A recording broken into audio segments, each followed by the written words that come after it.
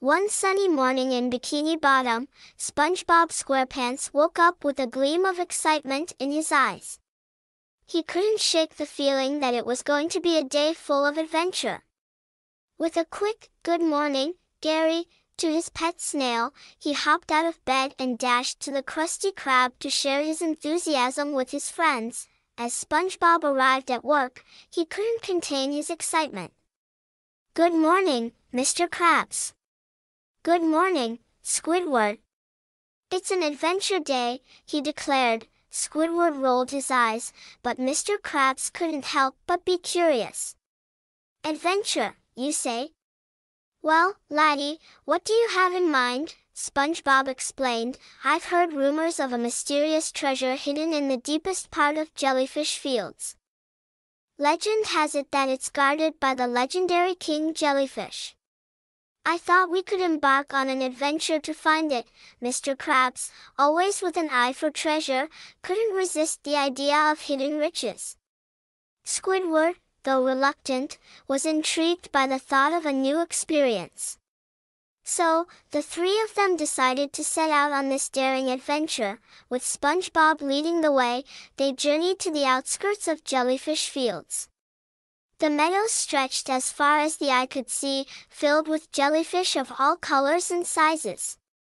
SpongeBob explained that they needed to find the king jellyfish, who held the key to the treasure's location.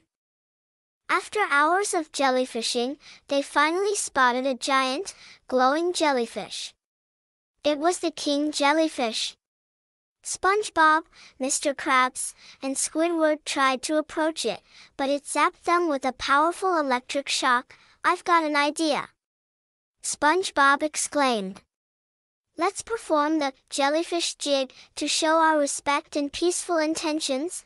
They danced a wacky dance, and to their amazement, the king jellyfish joined in, jiggling to the rhythm. It turned out that the king jellyfish enjoyed a good dance. With the king jellyfish as their guide, they embarked on a journey deep into the heart of jellyfish fields. The path was treacherous, with narrow tunnels, but the king jellyfish led them safely through. Finally, they reached a hidden chamber, where an ancient chest lay. Mr. Krabs opened it, revealing a trove of glittering jellyfish-shaped gems. SpongeBob was overjoyed, and the others couldn't help but smile. The adventure had brought not only treasure but also a sense of camaraderie and fun. As they made their way back to Bikini Bottom, SpongeBob realized that sometimes the greatest treasures were the memories and friendships formed during the journey. With their jellyfish-shaped gems in tow, they returned home, their hearts filled with the joy of a memorable adventure in the world of Bikini Bottom.